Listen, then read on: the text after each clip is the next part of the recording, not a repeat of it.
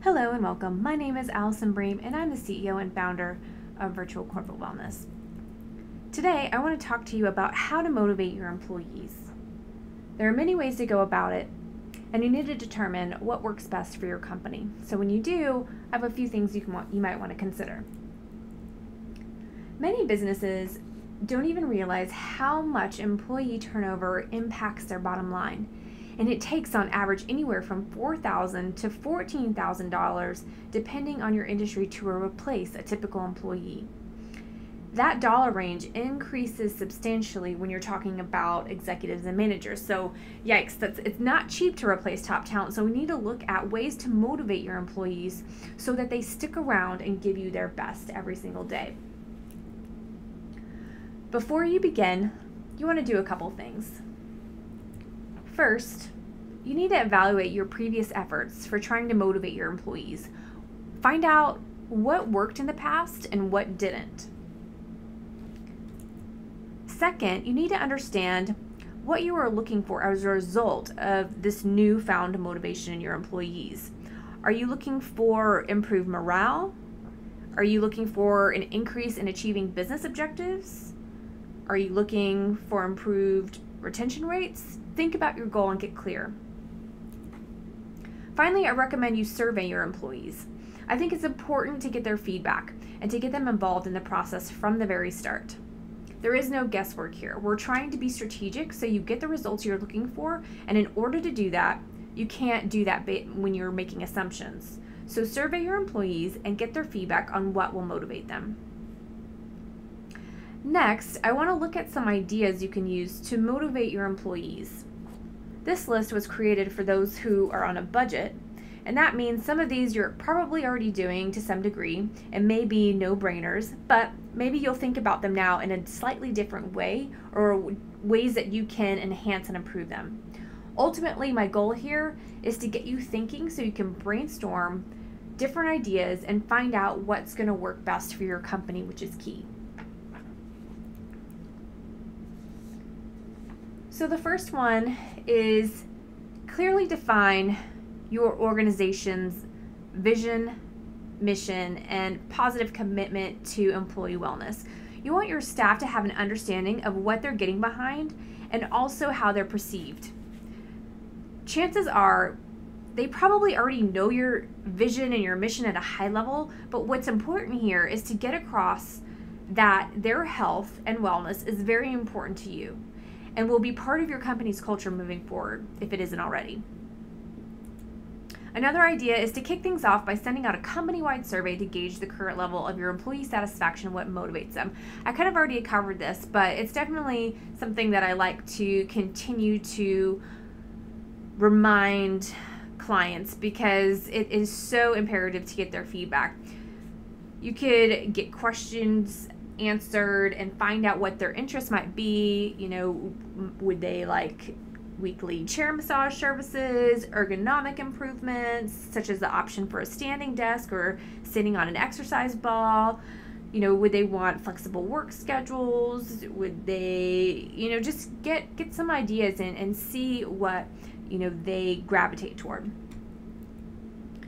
A lot of companies already do this, but another idea is to send a monthly staff newsletter that keeps employees informed about what's currently going on behind the scenes so they feel involved and included in the company that you know in your company and so that they can really kind of just get grounded in what you guys are doing as a whole.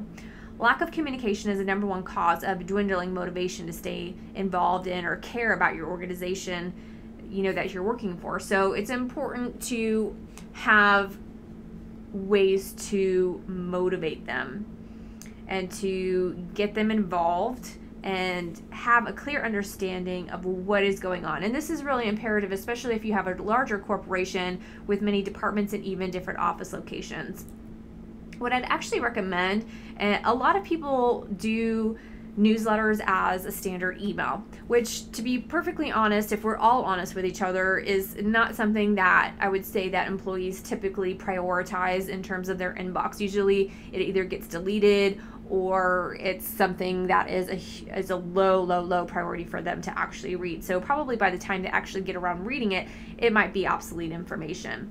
So another idea is to kind of shake things up and maybe even do a video format where you know you're interviewing a couple of individuals across your organization whether that's your ceo or executive team um, and, and just make sure to have fun with it um, as well it's it's so easy for us to just give information and instead of just making it relatable in a way that gets us excited and motivated about you know the companies you know that we're all working for. So maybe try that. Also make sure to show some personality. You know you can a lot of people include staff news you know birthdays work anniversaries you know special acknowledgments and thanks are always great um, you can do a wellness tip or staff pet photos or have a humor section, whether that be a joke or, or just something, or even that could be, you know, the tone of the overall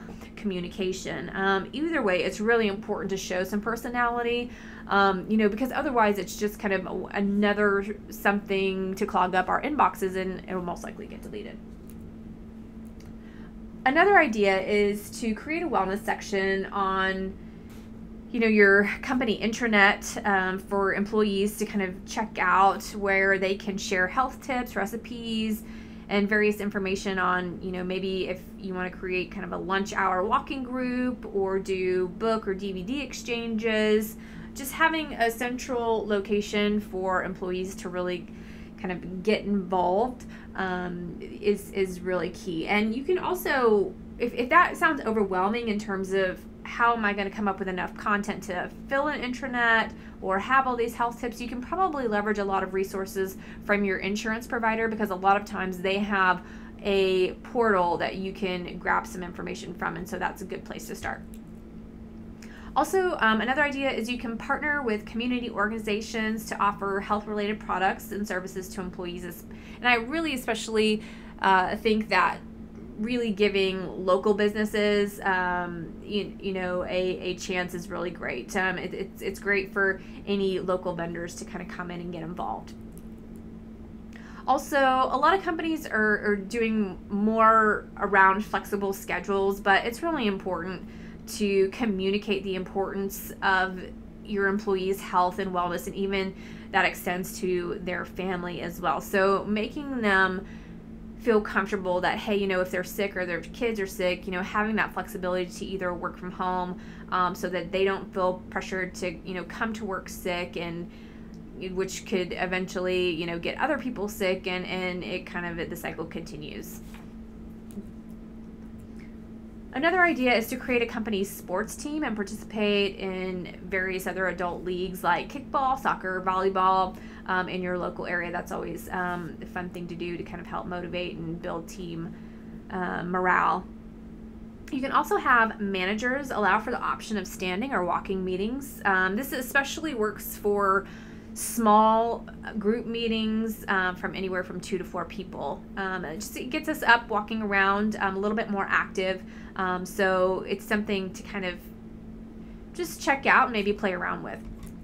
You can also invite instructors um, to come in and teach classes on a regular basis, you know, such as yoga, Pilates, boot camp, etc. You know, I, I would, if, if this is something of interest for your company, I've definitely, you know, in the survey, ask, you know, what um, type of fitness instructor or class they would like to have come in. So you're not fo- forcing some of your employees to just do yoga, you know. So so kind of ask them what type of classes they would like to take um, to get their feedback first and foremost before you actually go and hire anyone. Another idea is to negotiate corporate discounts for health club memberships, gym discounts um, for those who are employed at your organization. This is kind of a standard one that most companies do, but um, on the off chance that your company is not doing it, it could be something that you want, want to check out. Another idea is to hold staff fundraisers for local charities um, and, and various causes. Basically, this is it's a good opportunity to encourage your employees to volunteer and, and, and, kind of get invested in the local community. Um, I have a, a, another video where I talk about your employee volunteer program. I think that that's something that's really important that a lot of employees don't really feel that they could take the time off um, and take advantage of. So, you know, get your leaders and executive team involved and, and make this a priority from the top down. Another idea to motivate your employees to ha- is have a game or activity room where you know employees can take a break um, from meetings and phone calls you know play foosball pool table darts you know whatever works best for your employees and, and whatever they're kind of gravitating toward you can also encourage potluck fridays or something similar um, where employees can bring food and you know just kind of socialize and eat together instead of everyone kind of going their separate ways at lunch. I mean it's it's great for everyone to kind of have that break to get out of the office for lunch but sometimes um, you know it'd be good you know just to kind of have that um, team building that morale that socialization you know throughout your organization uh, another idea is to have a suggestion box and encourage employees you know that they can make their opinions and, and concerns known, but doing so in a way that isn't confrontational. Um, just having this option um, sometimes, you know, helps um, people, you know, feel a little bit better about, you know, putting in suggestions for the organization. And, and it's really important to, you know, when you're reading these suggestions to potentially follow up. Um, you know on a on a mass scale you know if you're if you're starting to get the same sort of suggestion over and over again and there's a reason why you can't implement it whether it be you know budgetary reasons or it might not be a direction that you know your organization is going right now um, then it's important to address those so people uh, you know know that you actually read them um, and are taking them under advisement um, so just just remember to do that follow up uh, another idea is to promote professional development um, this is this is really key um, across the board, but you know when it comes to our health and wellness, there's a lot of different aspects. I mean, it's not just about you know if we eat right or if we exercise. There's a lot of elements into what you know creates